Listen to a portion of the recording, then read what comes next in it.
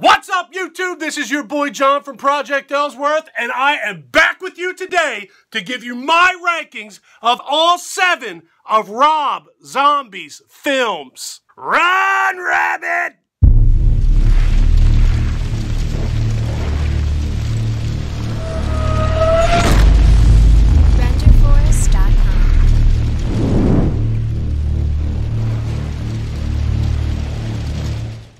From 2003's House of a Thousand Corpses all the way up to and including 2019's Three from Hell, Rob Zombie has been dazzling us with his beautiful cinematography, his interesting casting choices, and he's even been ruffling a few feathers with his controversial script writing. He has given us iconic characters such as the quick-witted Captain Spaulding and quite possibly the scariest Michael Myers that has ever been put on film. He's also provided us with a few ruthless killers such as Otis Driftwood and Doomhead. Some people love him, some people hate him. A lot of people could live with him or without him. I think he's alright. This is my ranking of the seven Rob Zombie feature films. Coming in at number seven is 2013's The Lords of Salem. God does not spare angels when they sin.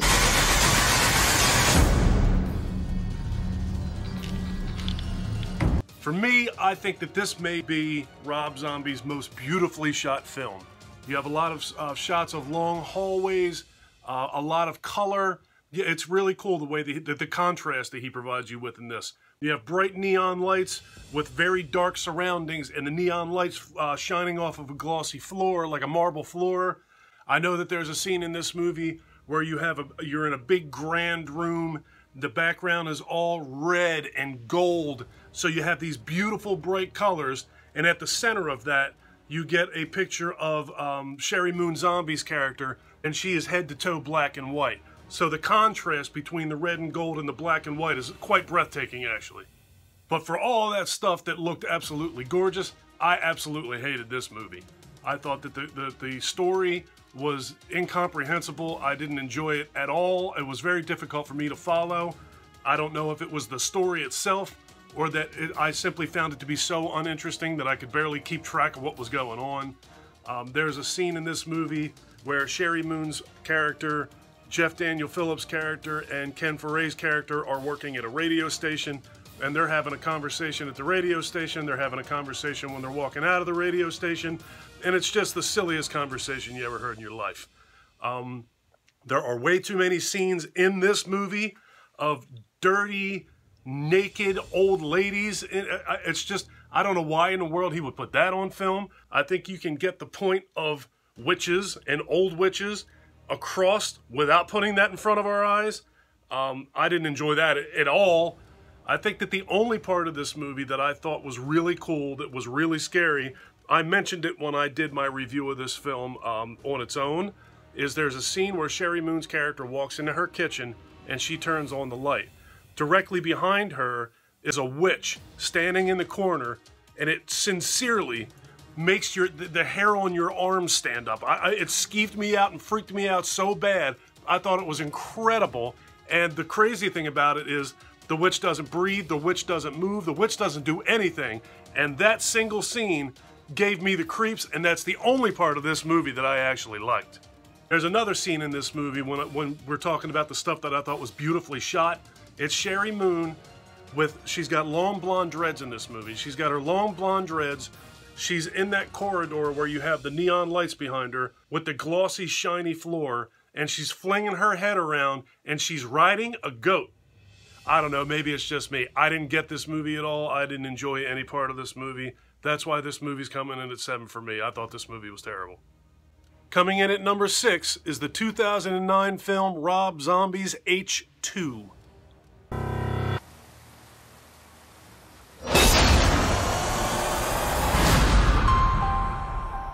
I thought that the beginning of this movie was absolutely fantastic. I'd say it's probably the opening between 20 minutes and a half hour of this movie. I didn't time it out. I should have, but I didn't. I'm sorry. Um, when he, when we pick up the story, it is right where the events of the 2007 Rob Zombie film end. You see Sheriff Brackett driving down the road in his squad car, and he sees Laurie walking in the middle of the road. It's pitch black outside, but he sees her. Slowly pulls up behind her. She's covered in blood. He gets her in the car. He gets her to the hospital. When she gets to the hospital, she's walking around. She's seeing the nurses in there. Michael Myers attacks. It's scary as hell. It chases her outside. It's raining. It just the, it, the tension that is built into this small piece of filmmaking was absolutely phenomenal. And then Laurie wakes up screaming.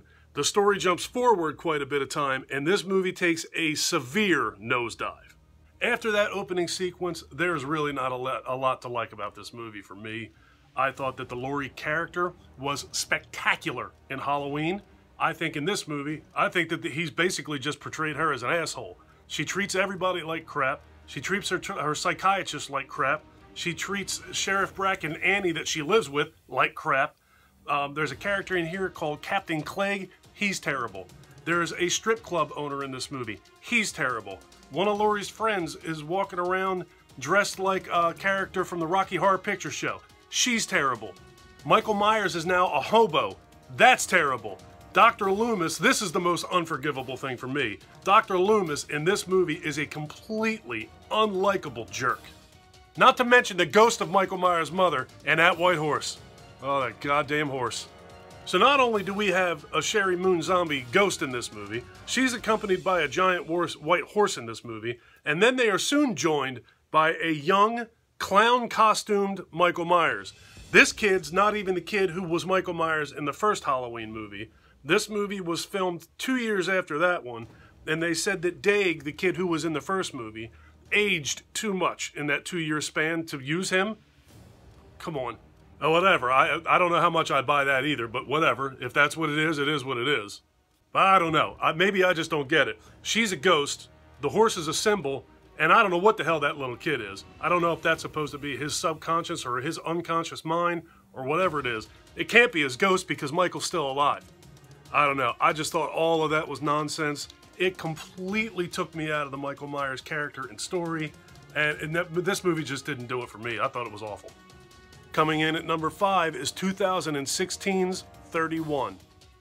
Now, you may think you see a grease painted reformer sitting before you, but trust me, I'm not here to brighten your dismal day. I am here to end your miserable life. This movie, well, I had mixed feelings about this movie. I thought that the opening scene of this movie was absolutely amazing with Richard Brake as Doomhead speaking to a guy that he's getting ready to kill. I thought the writing was brilliant. I thought that his acting was brilliant. I thought that his cadence and his performance were brilliant in this scene. Immediately after this scene, we get roughly 20 minutes of the rest of the characters in a van being typical Rob Zombie trailer trash, disgusting, repulsive, immoral human beings. But if you get past that, it's not too bad. I like this game of survival that they had to play in this movie. Um, there were a few characters inside of the game that I wasn't real crazy about. One real nuts about the Nazi midget, and I really thought that the clowns were kind of gross and, and, disgusting. But uh, for the most part, after you get past the first third of this movie, I did enjoy it. Um, I'm kind of on the fence with this movie, but I'm leaning towards liking it. Um, I love the very, very beginning of this movie. I really dug the end of this movie where Doomhead reappears again. And although a lot of people don't like it, when this movie ends, they kind of do the same thing that they did in one of his other movies. They play a classic rock song, or he plays a classic rock song, Rob Zombie, I mean, almost all the way through, if not all the way through. I don't remember exactly. Um, but they play uh, "Dream On" by Aerosmith. There's a scene where that that song starts and plays damn near, if not all the way through, with two characters basically standing in the road looking at each other. I didn't mind that ending.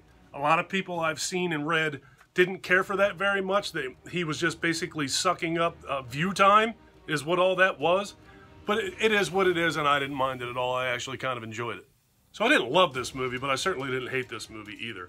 I definitely liked it more the second time that I watched it, so this movie kind of falls in the middle for me. Coming in at number four is the 2019 film Three from Hell. Hello, America. Did you miss me? Three from Hell. Right off the bat, you got to know that the three from hell does not include Captain Spaulding. Sid Haig was sick when they filmed this movie, and right after this movie came out, unfortunately, he passed away. Rest in peace, Sid Haig, man. I love that dude. So the third character in this movie is now portrayed by Richard Brake. His name is Winslow Foxworth Coltrane. So you have Winslow, uh, Baby, and Otis. They're your three from hell, not Captain Spaulding. He's not in there. I would say Captain Spaulding is probably in this movie for about three minutes total, three, maybe four. He doesn't get very much screen time in this movie. So yeah, Richard Brake is now the third member from Three from Hell. Uh, I thought that this movie, this is another Rob Zombie movie that I thought was definitely better the second time I watched it. When I saw this movie in the movie theater, I walked out of there. I did a review for this when it came out, like the day after it came out, and I saw it. And I gave a pretty unsatisfactory review for this movie. But I went back and watched it again as a refresher because it'd been so long. And I actually kind of liked this movie. I thought it was decent. I thought that Richard Brake, if his character was portrayed by somebody else, I may not like it as much, but I just like him. I think he's a fantastic actor. Um, the baby character in this movie, I really wasn't. It wasn't really appealing to me that she was completely batshit crazy in this movie. I mean, I think from House of a Thousand Corpses and The Devil's Rejects, you could label all of the characters in these movies as crazy. But after she got locked up and put away, she really went crazy, and I wasn't nuts about that at all. The vast majority of this movie takes place in Mexico. They decide to jump the border to get away from the cops. And now they're in Mexico pissing people off. And they, they are over there. They wind up in like gunfights with the, the cartel who are all dressed in masks. They look like masked wrestlers, like luchadors. I think it's fairly obvious that he didn't have a big budget on this movie. And it, you definitely can tell. But with all that being said, I still think that this movie was pretty beautifully shot. I thought the scenery was great, the sets were great. Um, I, I think that the characters, for the most part, had a good performance in these in this movie. Sheri Moon's character at the beginning of the movie, like I said, she was completely batshit crazy. But by the time you got to the end of the movie, she didn't seem so crazy anymore. So whatever, man. This is another one. I didn't love this movie and I didn't hate this movie, and that's why this one is also in the middle for me. This one's actually right in the middle for me. Coming in at number three is 2005's The Devil's Rejects. What police have uncovered, words can't describe it. Body parts, human skulls, and a mass graved under the crawl space of the house. I am the devil, and I am here to do the devil's work. I know that this movie is probably number one on a lot of Rob Zombie fans' lists, but it's number three for me. I definitely liked this movie a lot. I liked it quite a bit. Obviously, I like it more than four of his other films. Um, I really enjoyed the way that this movie began with the um, with the shootout out front of their house or and in their house. I thought that was really really well done. Um, I liked I enjoyed the story of this movie. Uh, Captain Spaulding was fantastic. Baby and Otis they were great. I, I really liked just about everything about this movie. The, uh, there's a couple things that I was not crazy about. The Sheriff Wydell character. I like the idea of that character um, coming back and seeking revenge for his brother being killed in the previous House of a Thousand Corpses movie. I thought that that idea was fantastic. But I was not real crazy about William Forsythe's job in this movie. I thought that he was a little bit too over the top, which made it a little bit too unbelievable for me. Um, I, I just didn't like the way that he carried that role out. And although I really didn't like his role as that character, I absolutely loved the way that he died, which really didn't have anything to do with him getting his neck broken from behind and thrown on the ground like he was nothing, like he was a piece of trash, which in this movie he kind of is portrayed like that. I thought that was pretty cool. Um, the other thing in this movie, that I think there's only two things in this one that I didn't care for. That Sheriff Wydell character, I was not crazy about him. And I thought that the scene in the hotel room was a little bit too much. Um, I just did. I, I don't. That kind of stuff. I don't. I don't get any entertainment out of that stuff. I just don't like it. The the abuse of women and to the mistreatment of women. I, I just, I did not care for that scene at all. I'll leave it at that. But what this film did include was one of my two favorite scenes that Rob Zombie ever shot in his seven movie career, and it is the ending of this movie. Like I said, in uh, 31, that film ends with the entire song uh, Dream On playing. This movie ends with the entire uh, Freebird song playing. And I thoroughly enjoyed this. I, I love that song. I love that scene. I like the way that it ended. I liked everything about this. And it, when this movie ended, you thought, well, that's got to be it. There's not going to be a third film, right? So The Devil's Rejects is a movie that it's one of three that Rob Zombie has made that I really, really loved. Coming in at number two is 2007's Halloween. Three people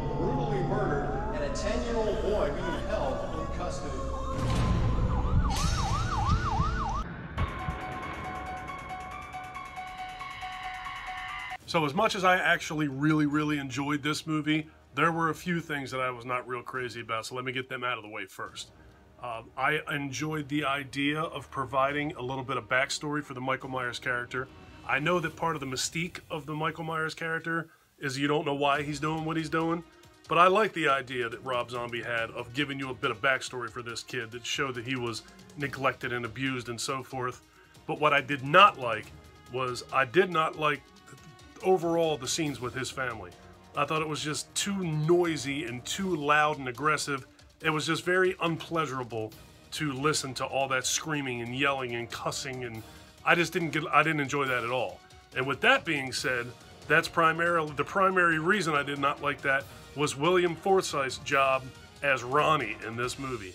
I maybe that's what Rob was going for, so maybe he did a good job at that role, but I absolutely hated that character. I hated him to death. So now Ronnie William Forsythe, he was Wydell and he was Ronnie, and I hated both of those characters. I also strongly disliked Judith Myers. By the time he stabbed her in this movie, I was glad he stabbed her. I didn't like her at all either.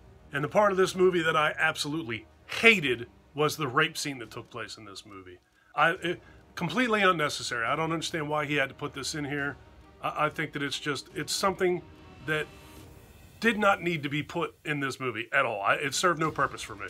I mean, come on, you're a storyteller. You write horror movies. You write music. You're you're obviously an artistic guy.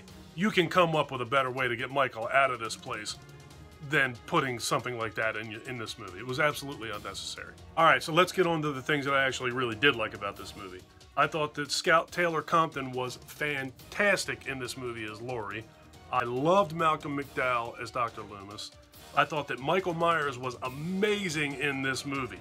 I thought Tyler Mane's portrayal of that character was fantastic, and I think that he very well may be the scariest Michael Myers that we've ever had. Um, I like the fact that Rob Zombie cast Danielle Harris in this movie. She played Jamie in, in Halloween 4 and Halloween 5, and I thought it was really cool to bring her back in this movie. I think that next to Halloween 2, of all of Rob Zombie's movies, this is the one that gets the, the most emotion out of people. People either absolutely love his remake of Halloween or absolutely hate his remake of Halloween. I loved his remake of Halloween. Halloween 2 is another story, but this one, I thought he did a fantastic job with this movie. There's only one movie left. You know what it is. Coming in at number one is the 2003 film House of a Thousand Corpses. Howdy, folks. You like blood, violence, freaks of nature? The boogeyman is real. And you found him. House of a Thousand Corpses. Hope you like what you see! Remember I said that the closing of The Devil's Rejects is one of my two favorite things that Rob Zombie ever filmed? The other one is the opening scene of House of a Thousand Corpses. When Captain Spaulding is in his museum of madness and mayhem, murder and madmen, when he's in his store and they come, uh, those dudes come in there to rob the place, and he just doesn't give a damn what them guys are saying to him, and he's confronted by all this. I just think that that was absolutely brilliant. It was creepy and it was scary and it was funny and it was aggressive. I thought it was absolutely fantastic.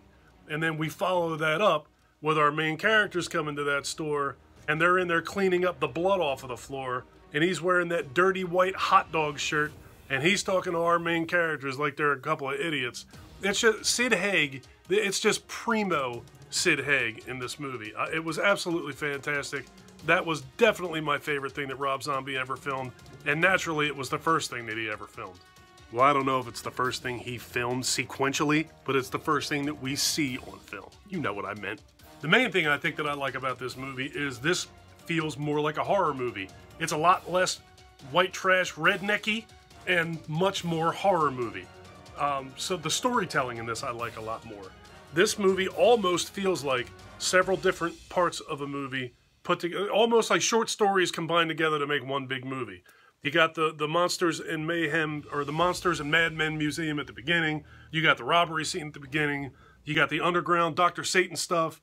You got all the stuff that takes place in the house that kind of feels like a Texas Chainsaw Massacre type feeling. It just the filmmaking and the storytelling and the the cinematography and the script, just everything about this movie to me was better than everything else that this guy's ever done.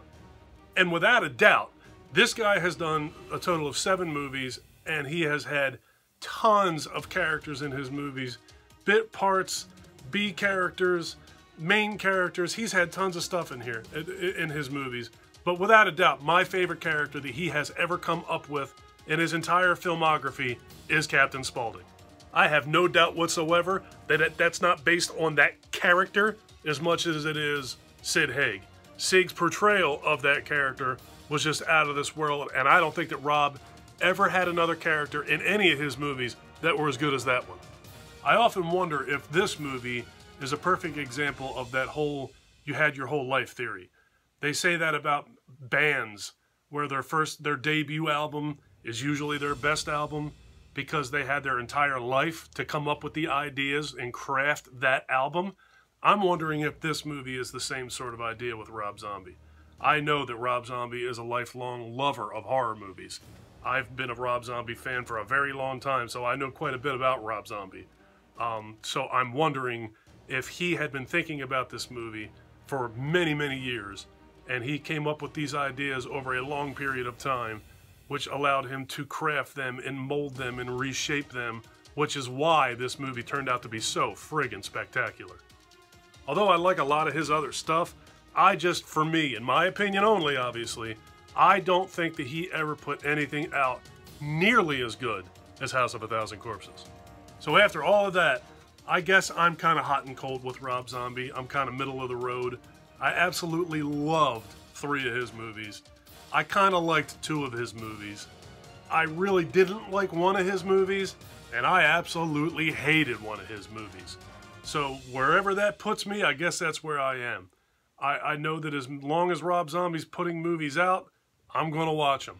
I actually, right before I came down here to film this, I looked on IMDb and I looked on Rob Zombie's website to see if he was working on anything currently, and neither one of them had any information that he was doing anything right now. But I know that I'm not somebody who typically just shuts somebody out and, and turns them off if I don't like something that they did, movie wise anyway. Um, and I absolutely love horror movies. That's the bottom line. So if Rob Zombie puts out another horror movie, or if Rob Zombie puts out 10 more horror movies, I'm sure I'll go see them. I'm sure I'll buy them, and I'm sure I'll review them. I'll give anything that this guy does a chance. So what's your stance on all of this? Do you like Rob Zombie's movies or don't you like Rob Zombie's movies? Which ones do you like? Which ones do you not like? What is your ranking? Leave all that stuff down below in the comments section and we can talk about it. Alright folks, that is going to do it for my ranking of Rob Zombie's filmography. If you like this video, please give me a thumbs up. If you really like this video and you have been enjoying my content, do me a huge personal favor. Go ahead and click that subscribe button and then ring that notification bell. Take care of yourself. Take care of each other. Have a kick-ass day and thank you for watching.